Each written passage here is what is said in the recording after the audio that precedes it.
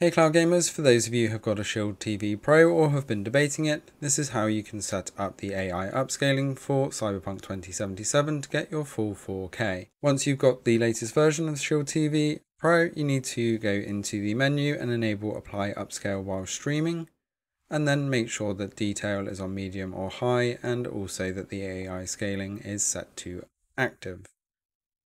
Then you can go and launch the game. I use the GOG edition from GeForce Now here. Looking at the settings then you can see I went with the high preset um, motion blur to off and then set the ray tracing on, lighting medium and the DLSS to balanced. So looking at some of the driving around gameplay here, we can see the active AI effects here. It is worth noting that the left is basic and the right is the AI upscaling for detail, but this has already been upscaled from a 1080 image to 4K. What you're seeing here is the AI filling in the blanks, which some people have likened to a sharpening filter, but it does seem to be doing a little bit more.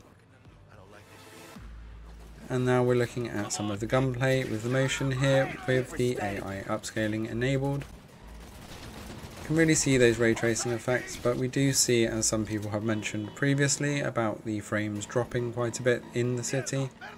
Although it's not hitting that 60 frames per second, it is bouncing between the 40 and 50 mark in this gunfight. So with a little bit of tweaking you could keep it above 60.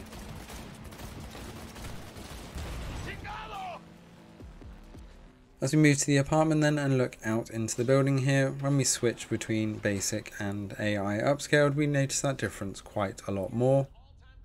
In the basic version, everything looks quite blurry, likened to performance mode in some other systems.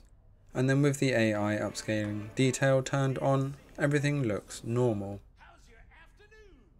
In static scenes, these details are a lot more noticeable, but when you're out and about, you just feel that something looks off if the AI upscaling isn't enabled. Considering it's a 1080 image that's being upscaled here to 4K via software, it is working remarkably well. Now depending on where you're watching this depends on how much of a difference you're really going to notice. TVs seem to be far more forgiving, having the detail on just makes things look a little bit sharper. Can't quite put your finger on it but it does look better.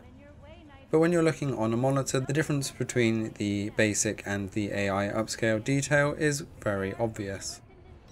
As we look at the more busy scene here, again when we put that basic on, if you're looking on a monitor you can see just how blurry the world becomes. But as soon as we enable that enhanced detail, once again everything looks crystal clear. Now if you are a GeForce Now founder, the Shield TV Pro is a fantastic way to play on the TV.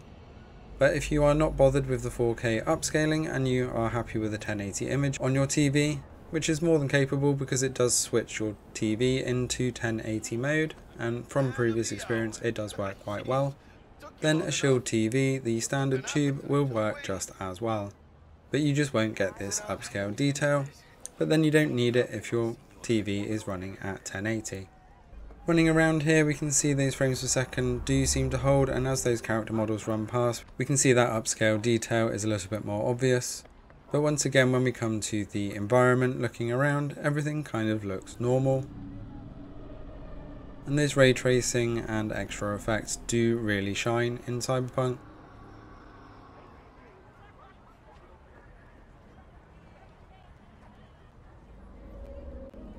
As we look at the car models, we can see that some of the edges look a little bit over sharpened, but in general it is working remarkably well.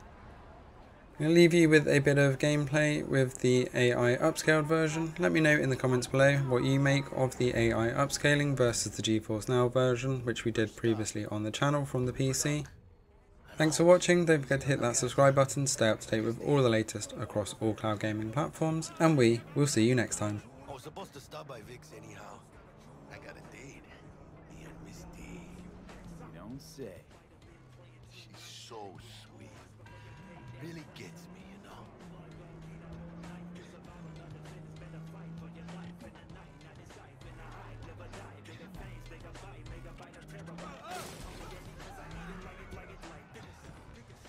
Yeah, this is it. Come on, V. Remind me once Vik's done dusting. We'll hash out what Dex has cooked up for us.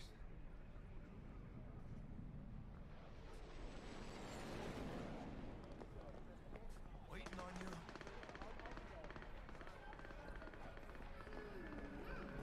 You are not the masters of your memories, for your eyes do not belong to you, or rather, not only. Hey, V. Dr. Vektor will see you now. I'll sit tight over here. Me and Misty got a little catching up to do.